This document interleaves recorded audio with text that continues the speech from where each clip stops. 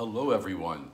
On this Holy Thursday, a very important day in the life of the church year, I'd like to tell you two stories. So I'm going to tell you one, we'll stop, and then if you want to watch the other one later, you can, or you can just go right on to the next one. The first story I'm going to tell you is the story of the Passover.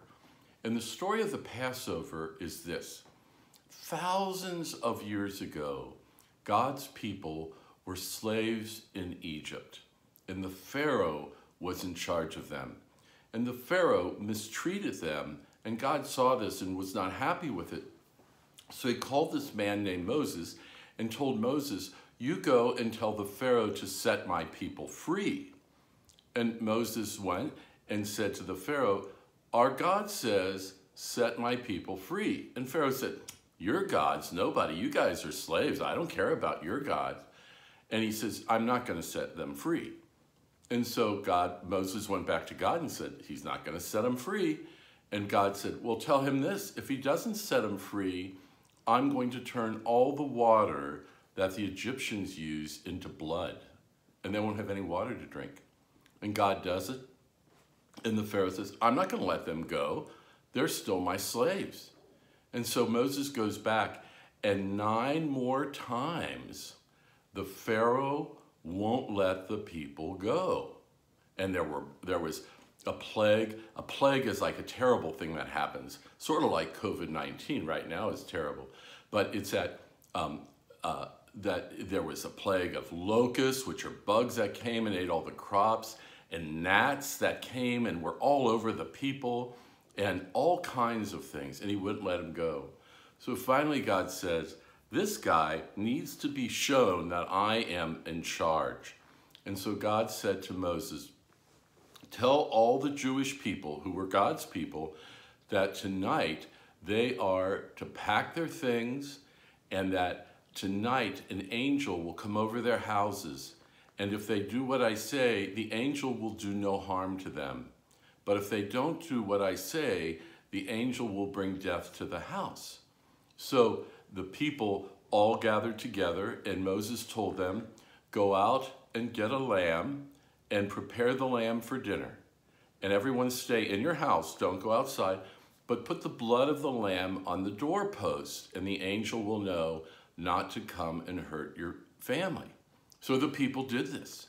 And the angel didn't hurt their families, but he killed the firstborn of each house of the Egyptians who wouldn't let the slaves go.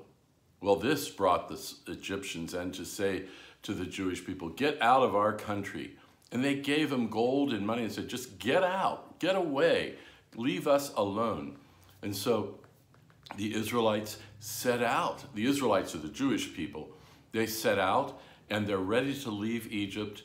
And the Pharaoh says, oh no, what are we doing? We're letting all our slaves go. And he sends an army to go and kill them or bring them back.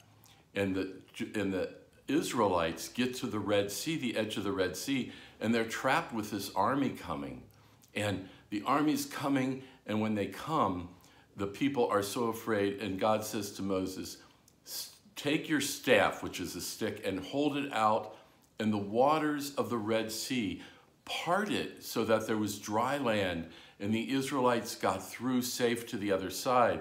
And as the Egyptians were catching up with them, when the last Israelite got through the water, the waters flowed back, and the Israelite army was drowned, and the people were free.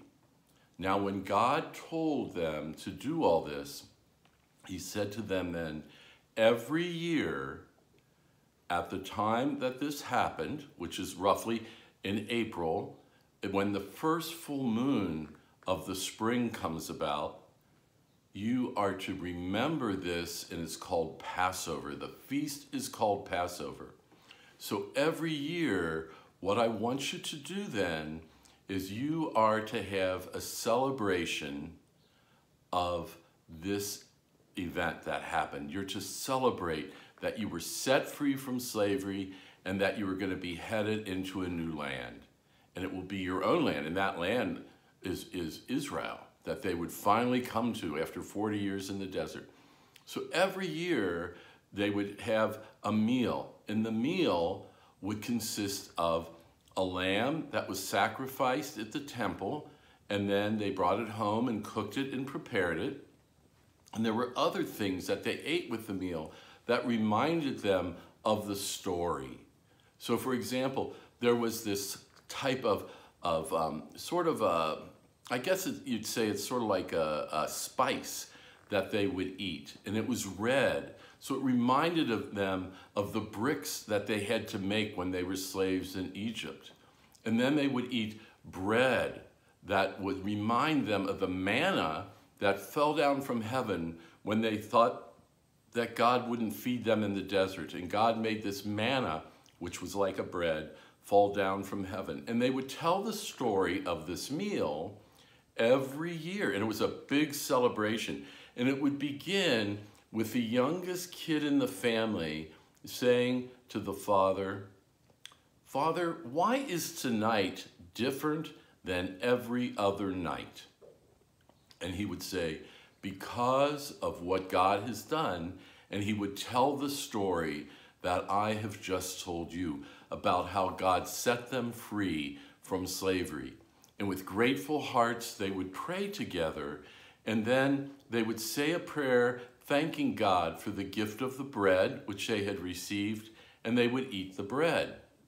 And then the father would take a cup of wine, and he would say, a prayer thanking God for the wine of sorrow and the wine of joy.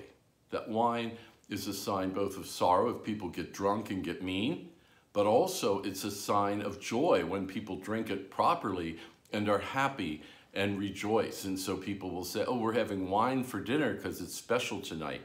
And so that is that time. And so they would give thanks to God with that. So that is the end of this first story. Now I'm going to stop and we'll come back and we'll do a second story.